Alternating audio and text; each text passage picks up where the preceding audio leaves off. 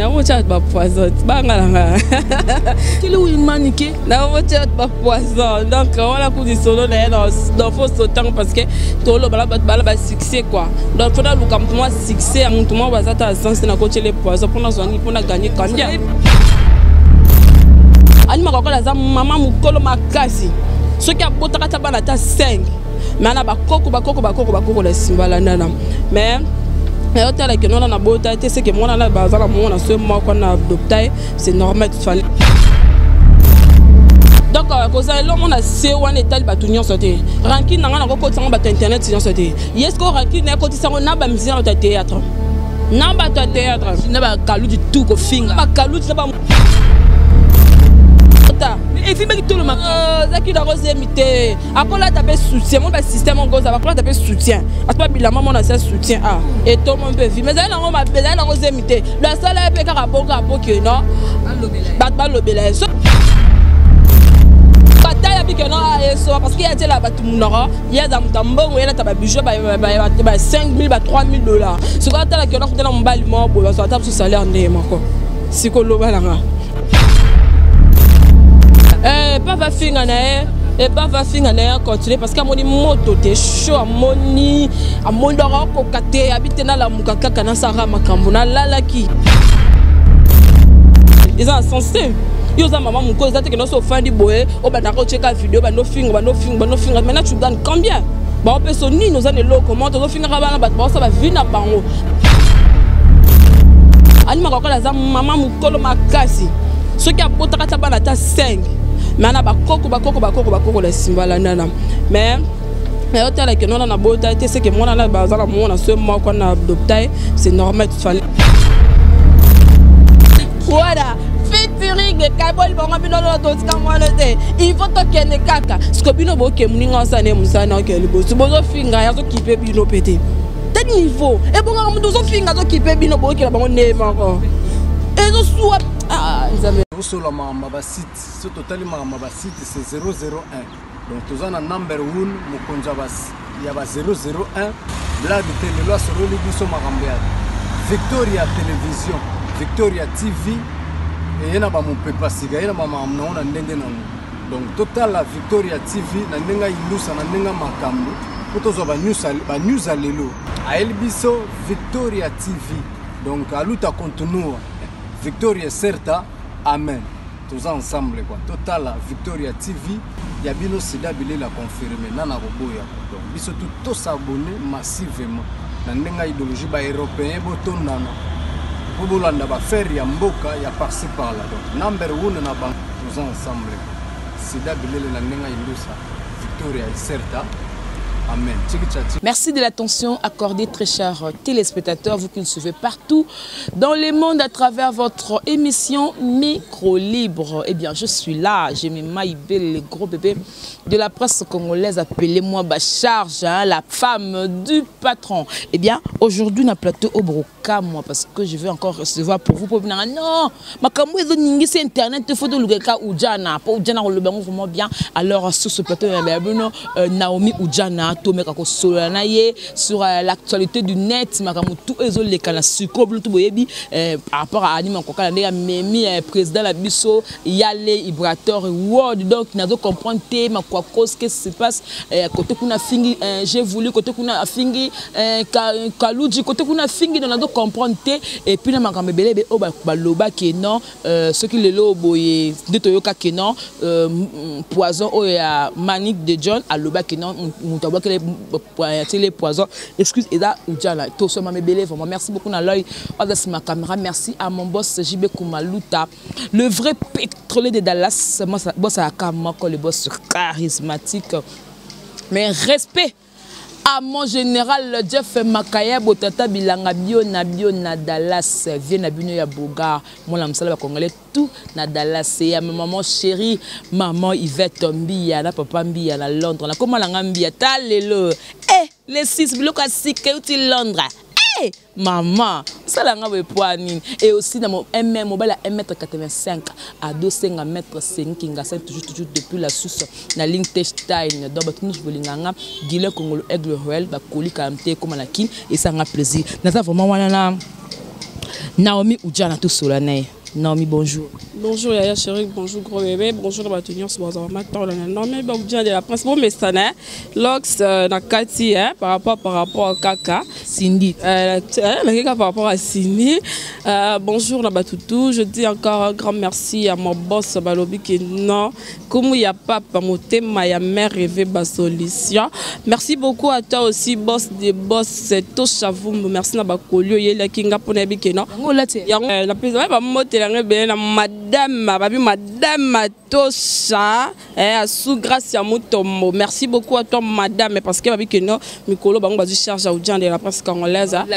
eh, biloko ya sika kaka esinga okenda nango mpe kaka bongo merci à toi aussi fifi ndongala depuis belgique madame merci beaucoup nazaka wana mpo na bino merci à yale sia de la rumba bravo bravo bravo félicitation balobi ya boye etikala ozala te mpo na trope donc bato mingi bazolekela bango ah ya solo wana tuka mpo na nzembo ya don de dieu en tout cas vraiment bravo à toi ya le ya le ya le osia de la rumba cangolaise et bantan piana moi je dis bravo à toi joyeux anniversaire à toi Karine Mokonzi la baronne déjà ezo banda déjà tozo banda yango na ndenge ya fola baronne hein. joyeux anniversaire à toi oyike mama anniversaire de soir moto mosusu mpo anniversaire nte kolekala ah, ni video nisi leki kaka boye sans suite kasi mpo azalaka moto ya mabe aza social te asololaka na bato te mais karine mokonzi malgré tuki mabe na ye me azaka mwa malamu malgré bisalasala nde mazala moto ya malamu na bato nyonso yango wana vraiment twana mingi vraiment ya opesi te mais tofetele tosalela ata mwa eloko moko esala bien parce que toyebaka yango tokufaka te toyebaka yango tobotamaka tosalela ata bahommage oyo esala biso vraiment kitoko makasi Naomi Ujana awa kaka na makambo ya Kinshasa toyokaki que non ah, na bachroniquer de bouche à l'oreille okuna oh, o oh, non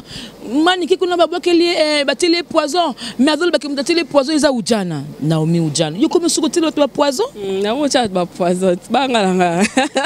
otieli oyo manike nango otya bato bapoison donc wana kulisolo na ye na fo sotango parce que toloba na bato bala basuccès quoi donc mpo naluka moto mwa succès ya moto mwa baza ta sens te nakotyele poison mpo nazwa nini mpo na gagne kambia bien bobebani kaka mbala moko nao boso tozalaki biye namoni kena motu ye moko akienga na ndenge ya bandenge ya mabe fesa fena mi retire na mibenda nzoto programme eza te bato tu batyeli mpe kaka poison toboyi te ngai mpe naotyeli poison mais bato mpe mosusu baobebana baotya mpe kaka poison poison ebakisama na nzoto ebakisamaka na nzoto ya motu pas de problème voilà donc loto solola nasi oza accro ya internet ba voice moko etamboli eza ba voice ya anima kwakala mais na badire na ye aza sœur na ngai ah, donc euh, aza motu oyo asololaka bien na boss na nga mais na cadre ya boulot fo tosalaka mosala parce que eza actualité euh, voice ebimi na kati ya bavoice wana nkomboka ya ibraton mpiana yale akokeka na yale likolo akenda yale kaiwod okoloba ni papa makambo wana par rapport makambo wana nanu nde nanda oyoka nano mambo ya ndima kwakala nabandaki koinvite kokota yango nabandaki oboya parce que avant toanda osolola na ye toanda osolola ne mpenza avant kala moi basala nda olukisa chéri cobetox nde toanda osolola ngai na ye mais tosololaka lisusu te ça fait une année to une année na ndamba ba deux ans tosololaka lisusu te bati babandi badiscussion na bango wana azofinga koto aleki afingi bos na ngai azongi bafingi Na boya wa kota ngo. Po ya best boss abengi nga batali atali émission ndenge azofinga. Na boya kino akota parce que pourquoi kota na kombo na nga te. De deux d'abord sala nga pe passe de place place nga azo sala azofinga na boss na nga. Ngona baki te nga na kota na na ngote na mema wango boya. Mais siko akomi kokena ngo ndesko mabem. Ye ale na mambo internet kutu do aleka no rare. ye kutu ba buzz internet azalaka nano te o oh, moto aleki afingi ya korepondre te lelo ti lobi me neti anima kokala aoluka babesi na ye aoluka makambo ne likolo ya nkombo ya yale ibratom mpiana ozwa yango nayoyoka suvasi mosusu ata oloba nalobi mwana wana moke azalaka pembeni ya ibrator wana basololaka na mwasi ta ibrator mpe ngai nazalaka mwasi ta ibrator ngai nalobi ye ngai mwasi ta ibrator ta moi je travaille chez ibrator donc nasololaka ngai nabiki nasolola nasolola na mwasi ipari bon nayebi te parce que yala bala te Ibra abala ata na alliance te mais sikoyo yo atya mwasi mwasi nini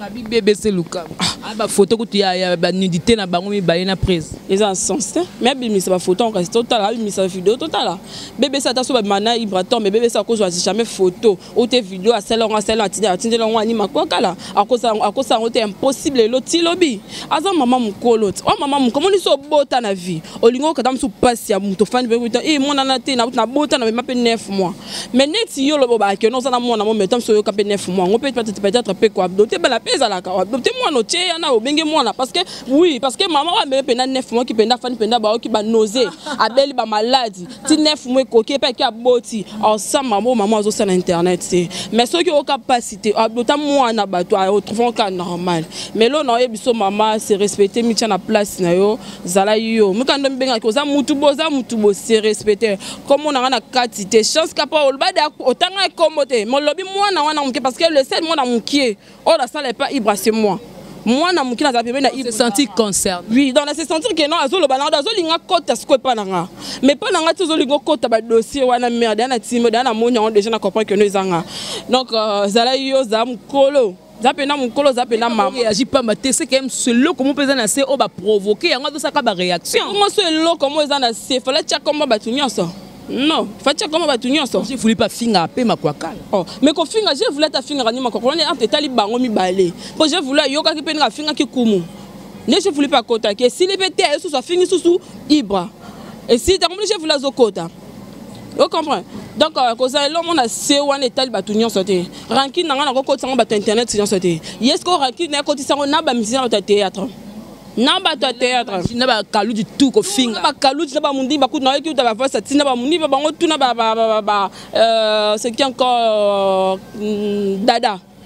atie na dada na kati lelo na mixus voice achange soso te na dada kutu osola te mais eza sens te dada na international international eza na sens te yo oza mama moko eza te kende oso ofandi boye obandaka otyeka video bandofinga bandofinga bandofinga maintenant tu gagne combien baopeso nini oza na eloko moko tozofingaka bana bato baosala bavi na bango bazoluka moi moi bazoluka mpo basani baloka ndenge nini ya kobokola bana na bango mpo na ndenge babokola fami na bango mai yo ozombeta tolokena oza mwasi ya mondele oyo na bambongo no mai fanda kanga monoko na yo so oza na bambongo na yo babola mpe baza ebele ba ong mpe eza ebele ntina mbongo esala badona noko sina ba ong mpo keno banda olekisa ndoki no banda otindaka bato batindela mbongo botinda bato mbongo bato banda ofingaka bato wana mais eza na sens te mare eloko na oyebisa yo monoko na yo avant banda olobaka balola yango ata 10 fois ata 25 ata pe combien ya mukolo tango ba bonge ma comme si olakisi ndenge oloba même si ayebi na bia mukolo omoni so mukolo mukolo ya muso ozoloba mabe fo ozongisaka ye nayebaka te bato mosusu omoki yana mukolo azoloba mabe bozongisa ba kena mwana nazaka impoli mais ezakaka impoli te mpe naboli kena ozoloba mabe il faut nazongisa fo natali so te mare okebo okebo okebo fokee yango boye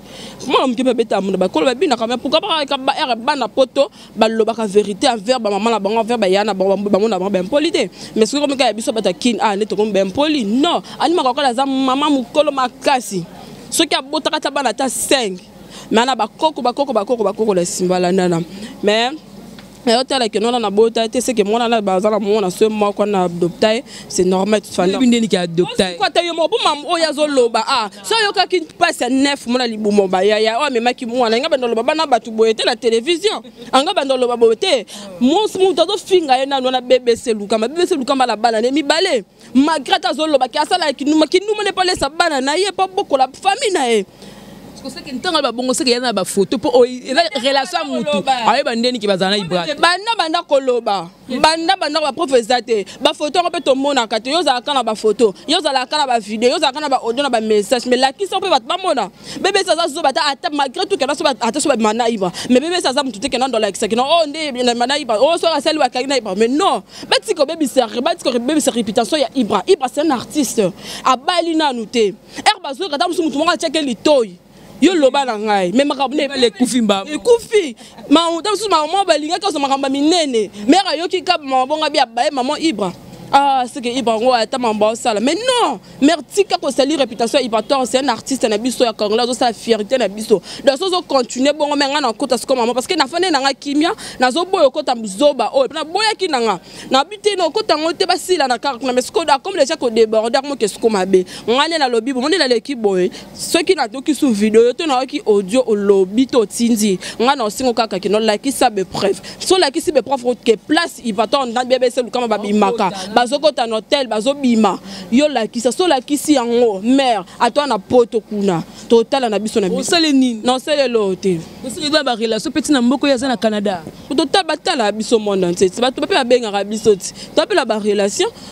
eloni ezangi moni eza bopoto eza ebale ti zoti nike wana o oh, non un jour bato na bato bakokendaka mpe kaka lelo soki oke poto eza tekela mokino mpe esuki eh, ozongaka lisuki nte te okozongaka mpe ka akini biso mpe bato ya kini tokokendaka mpe kaka lelo karine mpe ake ake aza na poto te mais siko lelo sara eh, ma grande sœur série sara ramazani ye mpe aza kuna lelo ya fifa mpe nzambe asali grâce aza est ce que akufi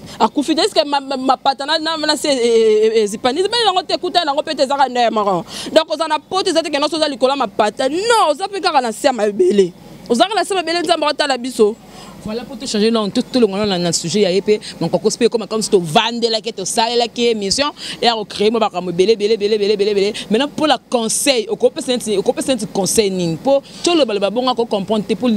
ibrator aza star monene fo biso mo topesaka valeur na baartiste musicien na biso ndenge ekomi bongo ekomi da kosali image ya artiste ngai nalobaka eloko oyo nalobaka yango eza bavideo ezotambola artiste nyonso motu nyonso oyo aleka na tv bafinga artiste ngai naza na mpo na kofinga mpe ye mpo ngai nakolinga te artiste na biso moko aosela oyo mwa bien alibo banda kofingaka soki omoni kena osela oyo mwa mabe usa so ozala nimero na ebenga yebisa ye usa osela leka na tv sala ba analyse po batalaka biso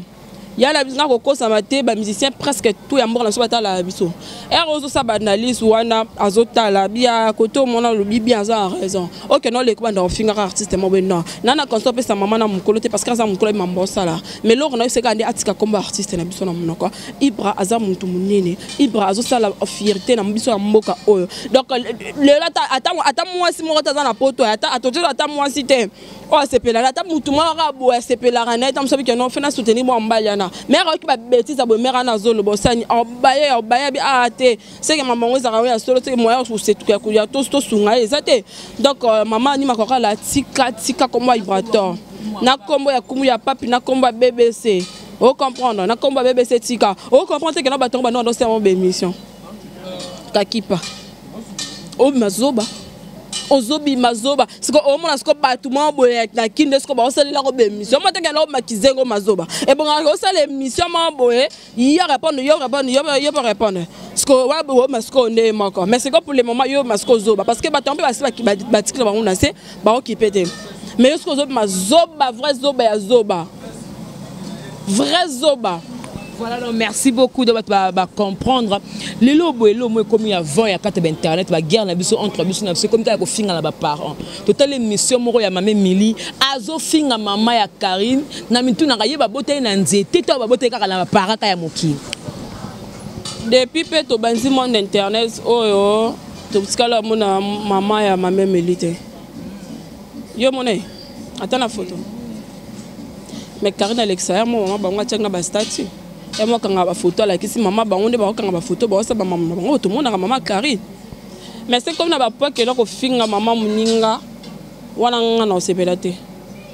ata moke te pourkui kaka mama na ozofinga ozofinga mama moninga obiki malédiction mbaa moko mpo eza te keno mama wa boti yo kaka nde falaki elo mabe non oyo ozofinga wana deja ozofinga malédiction deja ozolai ozomilakima deya mabe seke oada modi donc eze mpe ebimi ezalaki zemi te efimaki tolo makasi ezalaki nango zemi te akolata mpe soutien moni basystème okozala bakolata mpe soutien ata bilamba mwana sia soutien a ah, etomo mpe vi mais ezali nango mabe ezali nango zemi te do asala ye mpe kaka bongo apoke no bato balobela ye so ezalaki zemi na mobali deja toyebaki atali ke no ah, bato wana bayebaki mobali na mobali loyo apesaki nga zemi eza nde ye esopa ye esali soni yango ta mosaki olongolango na journaliste ah. yasha ta niveau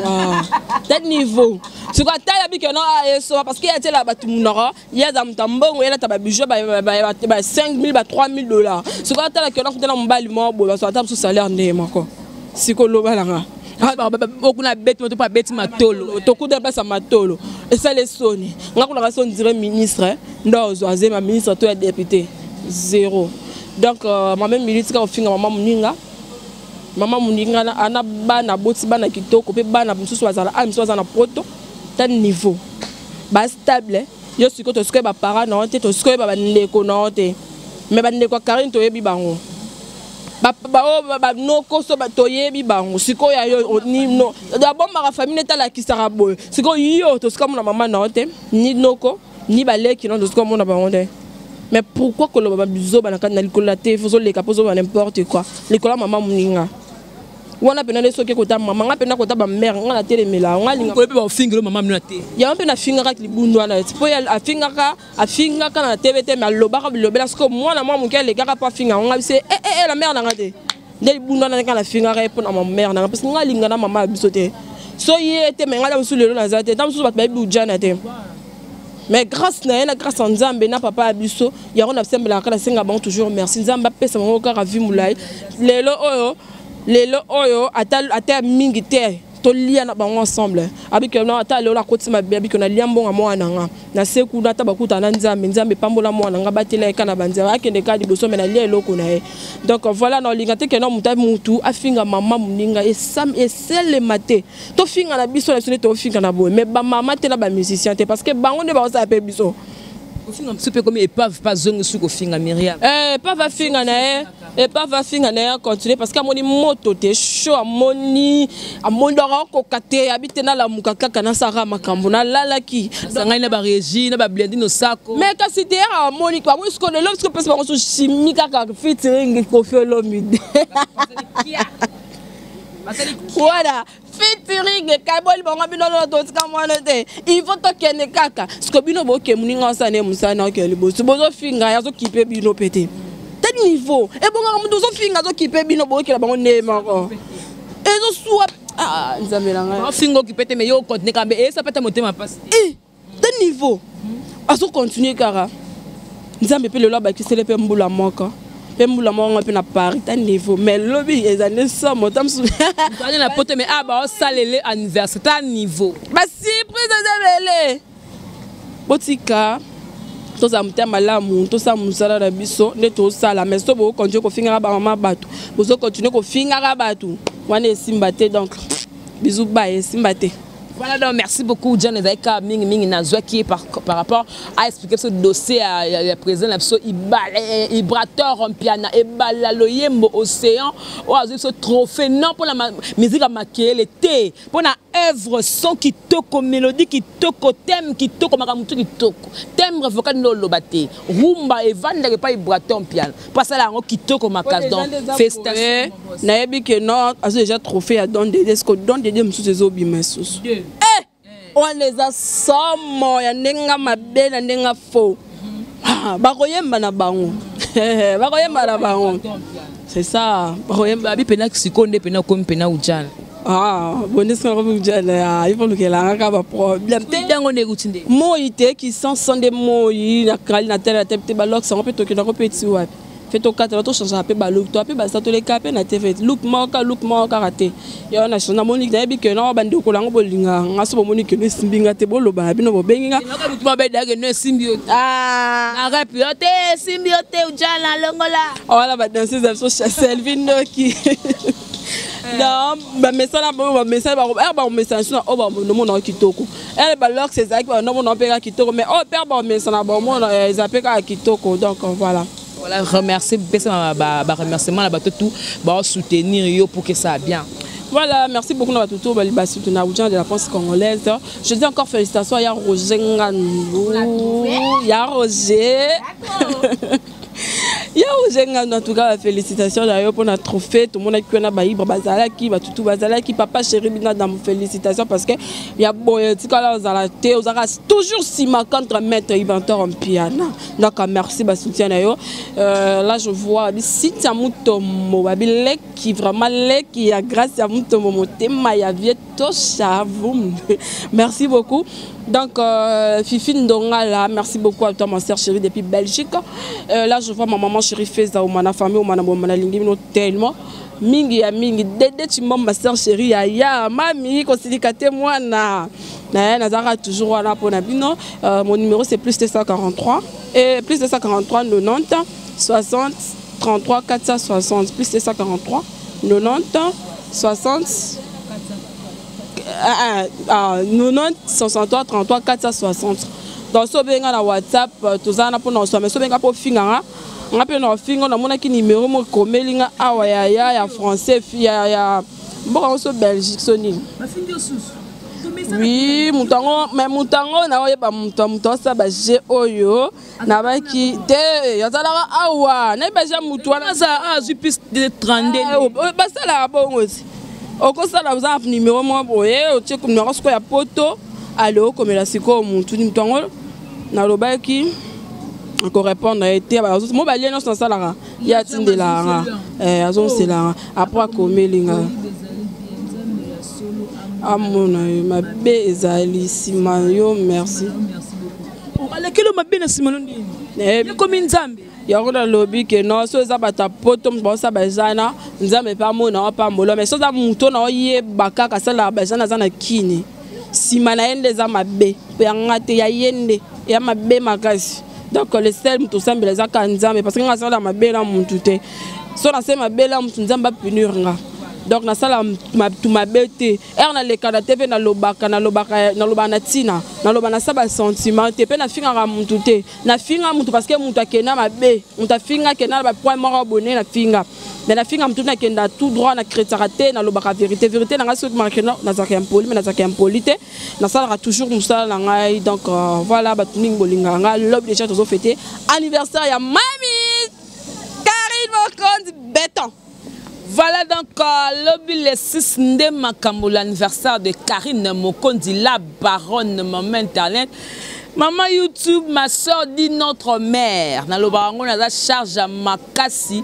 ya mwelon ya bibende ya faux Hey, charge ya boso mona ye na manette maelo wapi babi eh, bocomprendre lobi ya eh, bocomprendre ke non la famille mokonzi tozala elongo bolingaki yango te hein? parce que c'est la famille hein. donc tozala elongo donc rien à dire rien à commenter c'est la famille nayebi te émission ekota mokolo nini donc c'est la famille quoi donc je dis merci d'abord lelo parce que lobi nayebi nazala place te pardon monteur na biso bokotonga lelo mpo lobi place ezwama te voilà donc euh, efe kotaka balelo pour que ça kitoko voilà d'abord je dis merci merci merci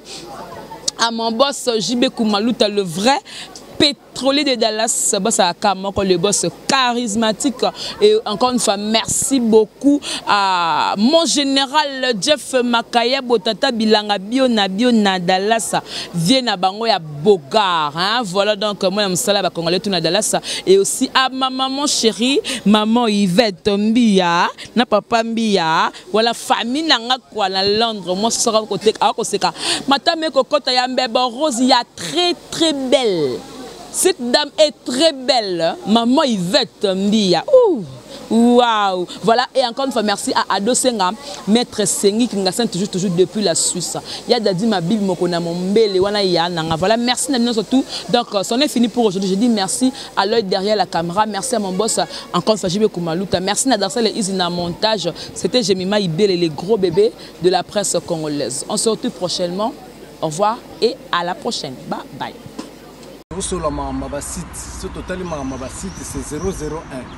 Donc toza na number one mokonzi ya ba ya ba 001 Blade te lelo asololi biso makambo ya Victoria Television, Victoria TV eye na ba mopepa sika ye na ba makambo nango na ndenge nango. Donc totala Victoria TV na ndenge ayindusa na ndenge makambo mpo tozwa ba news ba news ya lelo. Ayeli biso Victoria TV donc aluta kontinua Victoria certa amen. toza ensemble quoi totala victoria tv ya bino sida bilela confirme nana koboya donc biso tout to s'abonner massivement na ndenge idéologie ba européen botondana po bolanda bafaire ya mboka ya parci par là donc number one na bango toza ensemble sida bilele na ndenge indusa victoria iserta amen